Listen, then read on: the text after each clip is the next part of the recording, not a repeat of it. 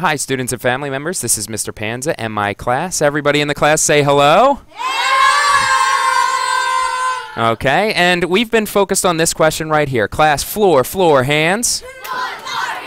Read that top question. Ready? Go. How do we determine weather? Okay, so we've been predicting weather, and I'd also like you to read this question. Floor, hands. Floor hands. Ready? Go. What are the impacts of land features? Specifically land features on weather. And we've been studying the last couple of weeks on weather, predicting weather, weather tools, and all sorts of different things. And we're about ready for a quiz. So I'm going to go through the review. You're going to help your student figure out the answers on the review sheet. And the more important thing is actually studying from the review sheet. So I'm going to give you the answers, and you just need to study from it. So let me open up my PowerPoint here. It has been a little slow today, but look at that. It actually came up pretty quick. So we have weather. How do land features affect or impact weather? And how can we predict weather or how can weather be predicted are the two main focus questions. The first one we're going to be talking about is air mass. So in air mass specifically, class, floor hands. Floor hands. Go ahead and read that. Go. A large body of air. So in this case, when you see this question tonight, when it says a large body of air is an blank, you want to put air mass. Because tomorrow on the quiz, there's going to be a question that says, what is that large body of mass? Next one, an anemometer. Anemometer, not an anemometer. The anemometer is going to show us wind speed, and it's an important part of weather. So an anemometer is a weather tool that measures wind speed. And the students have all learned actually a hand and body motion with that, and I know they're not going to be able to see this, but could you all show it and say it? Three, two, one. Okay, and that measures the wind speed, which is our picture right here. Let's go to our next one. Talking about a barometer. Now, a barometer, hmm, what does that measure? Students, first show it and say it. Barometer. Ready? Go. And if you remember what that measures, blow it in your hand. Hold it above your head and shake it. Three, two, one. Okay, so I did hear a couple different ones, so this is important to make sure you study this one. Barometers are important to measuring air pressure. Think of it as a pressure in a balloon. When you blow up a balloon, it's got all that pressure in there.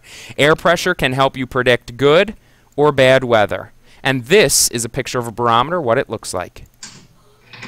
Next one is a thermometer. This is actually not a question on tonight's because I figure most of us know what a thermometer is. Thermometer is a weather tool used to measure temperature, and this is what it looks like. Next one, wind vane.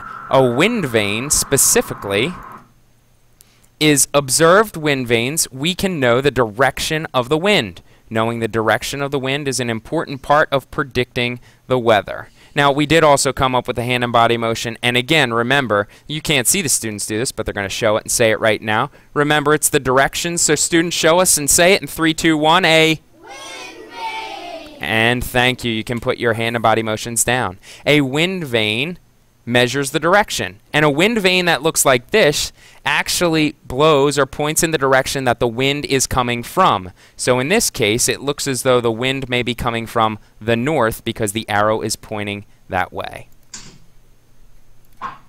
Next, we're going to talk about fronts. Floor, floor, hands. Students, please read this to remind yourself what a front is. Go.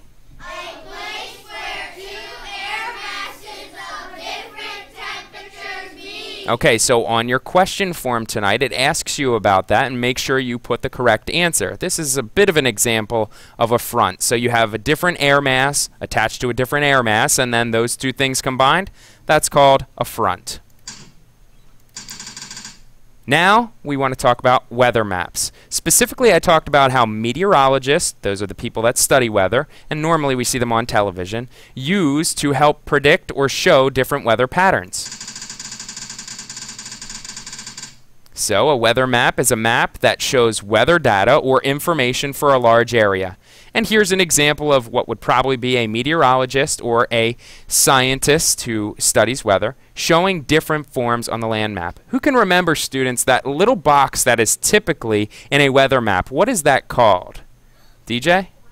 a weather key. So we have different things like color and other things that can also be included in a weather map that help us understand, oh, if it is red, that's typically hot, and if it's blue or green, that's typically cooler temperatures.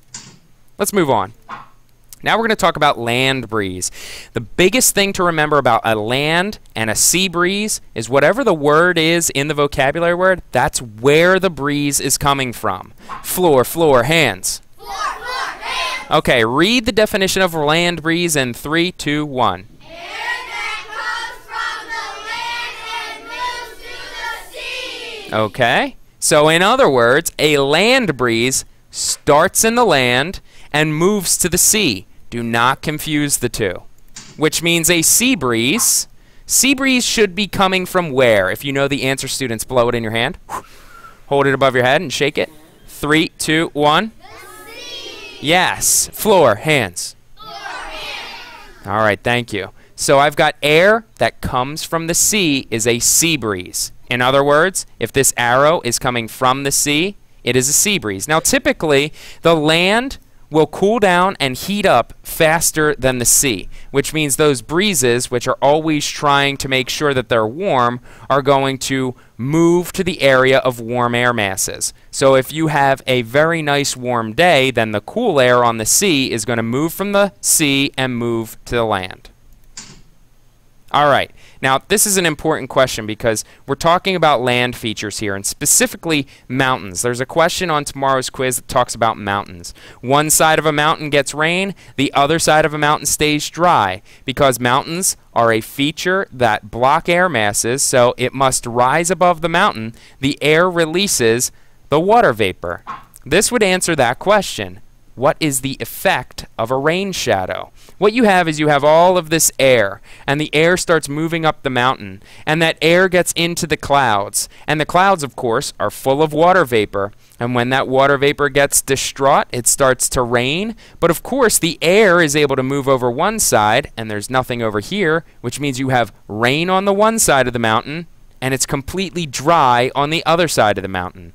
So because we have a mountain, sometimes that can impact a rain shadow, shadow or shower where it's raining on one side but it's dry on the other. Finally, we get to our clouds second. We have cirrus clouds. Students, show what a cirrus cloud looks like and say it. Three, two, one. Okay. That normally lets Sirius sun through or Sirius moonlight through, and typically they are wispy clouds. Here's some more descriptions. High in the sky, they're the highest level clouds. They are very wispy, and they warn of a change of weather. In fact, this morning I was looking up at the sky. It was really warm yesterday. I noticed a lot of cirrus clouds, and I realized a serious weather change was about to happen. And that's what happened. The temperatures dropped. It got a lot cooler today. The next cloud we're talking about are stratus, which are those low ones. Students, show it and say it. Three, two, one. Okay. Our stratus clouds are a low layer of gray clouds, and they typically cover the sky. Typically, they bring a light drizzle or some sort of rain. And our last one. So we talked about cirrus clouds. We talked about stratus clouds. Show and say that last one, those mid-level clouds. Ready? Three, two, one.